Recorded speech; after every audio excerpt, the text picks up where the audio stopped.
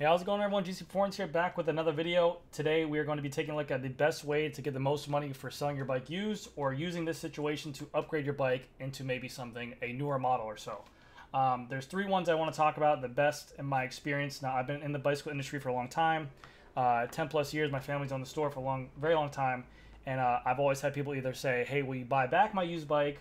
Or what can I do? What's the best way of selling bikes? Do you guys buy bikes? And I've gone every which way, and uh, the best experience, I will kind of let you guys know which way I've gone with.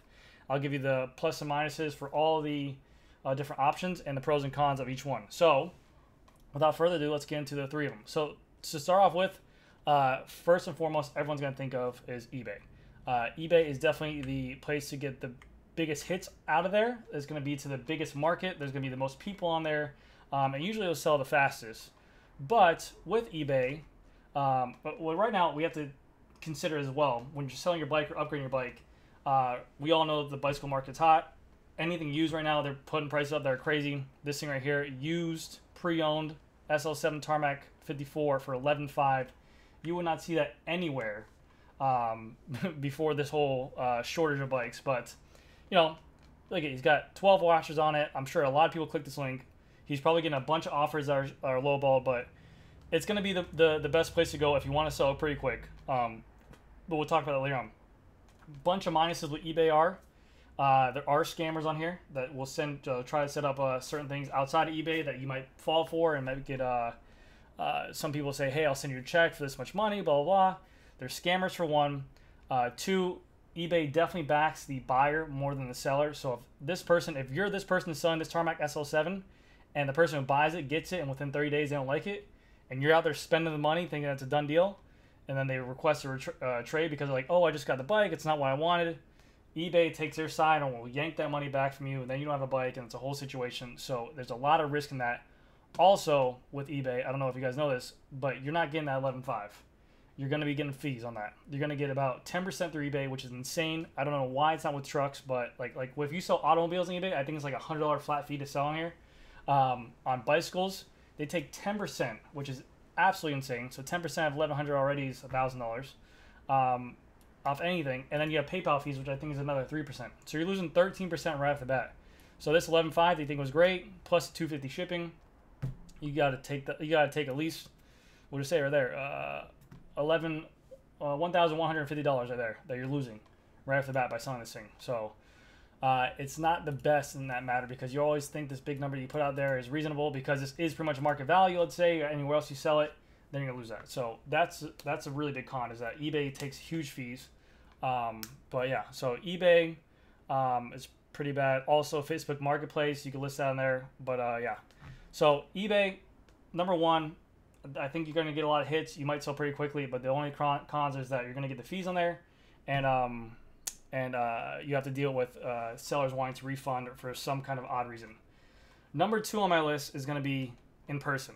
Uh, neighbors, friends, social people on group rides, uh, people that you've actually seen around the, the area, uh, Craigslist that we all know and love. Um, now, here's the thing with Craigslist, you have to consider you're going to get pretty good top dollar, especially right now um, with the bikes being so shortage. But the only thing is that when you sell the bike to someone local, you have to meet them at your house. Um, uh, this is all around where I'm at. I'm in my shop's in Deerfield, so I don't really care about the area. But but you have to meet. You have to have the person come to your house. You have to pick a time. It's inconvenience for you and him.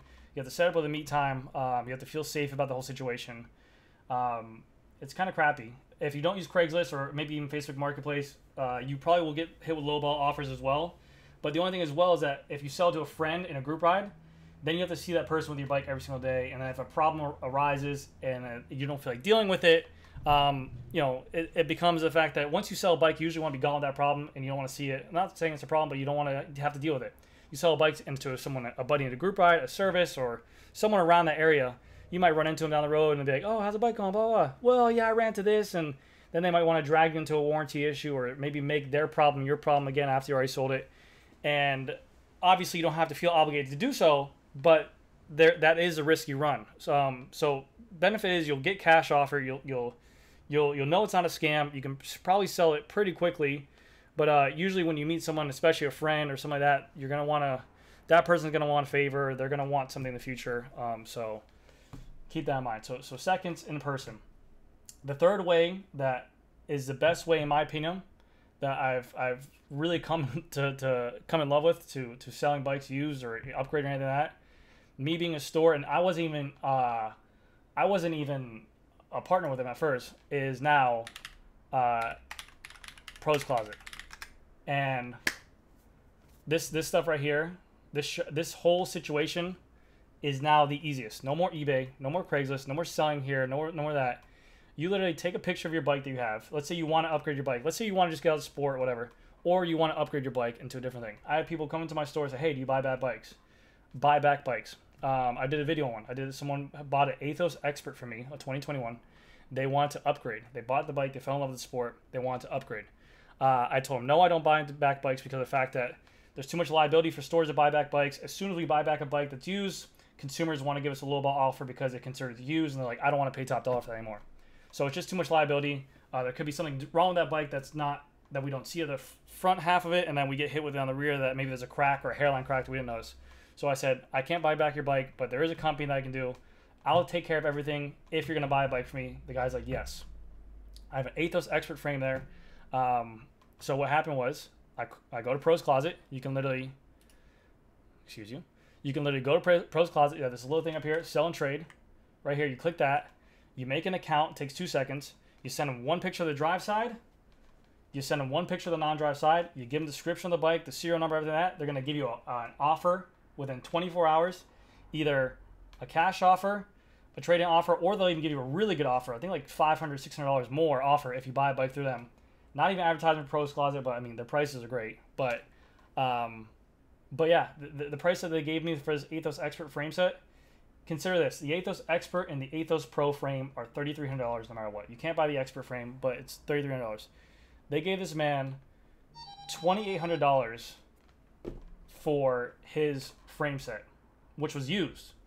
That's sometimes in, in the market before that, that's better than what we would actually sell a frame for.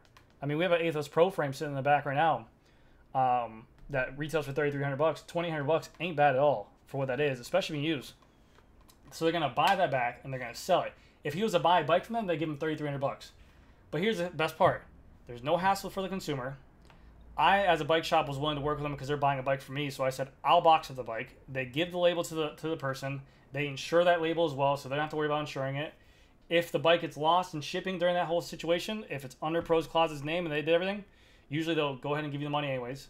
There's no worry about scamming. They give you an offer up front. It works amazing. As long as you're completely transparent, 100% true with the bike, uh, they give you really good deals. Pros Closet's doing it, Bicycle Blue Book, and there's a couple other like third-party companies as well that do it. Uh, I've had the best luck with Pros Closet. They give a hell of a deal each time I do it.